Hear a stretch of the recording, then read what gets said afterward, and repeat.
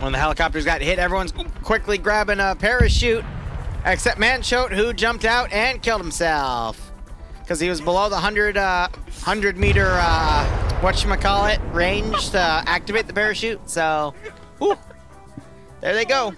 God. There they go. And the only two, okay, the only two people who survived the FAWR, who aren't even like actually part of that squad, they just jumped in to give him a hand. That is hilarious, hilarious stuff.